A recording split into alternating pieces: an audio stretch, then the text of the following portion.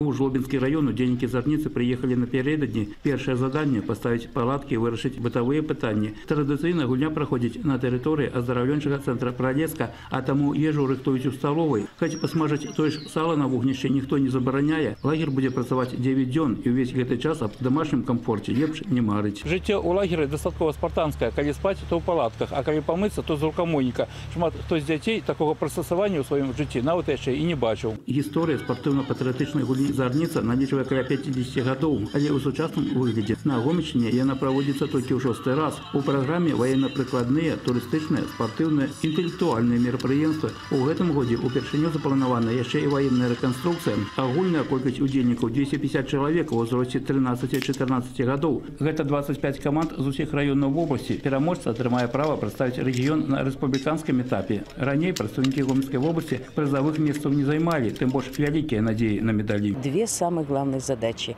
Первая задача – отобрать лучшую команду для участия в республиканском этапе военно-патриотической игры «Зорница».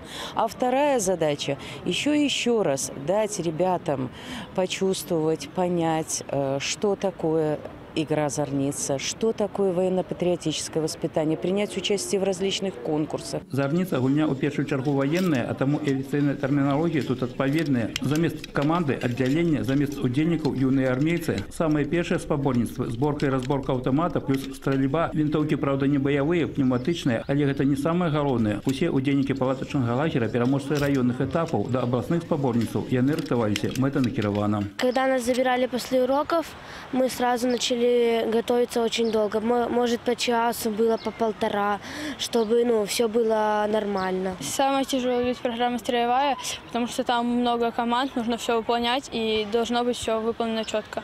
Праз 9 дзён абласны этап гульні зарніца завершыцца. Палатачны лагер будзе звернуты. Ва удзельніку пачнецца летні адпачынак за выключэннем каманды пераможцы. Яна пачне падрыхтоўку да рэспубліканскага этапу, які адбудзецца ўжо ў гэтым месяцы. Ці атрымаюць прадстаўнікі вобласці ўзнагароды на гэты раз стане вядома ў бліжэйшыя тыдні. Олег Сенцюроў, Андрей Иванов, тэлерадакампанія Гомель, Жлобінскі раён.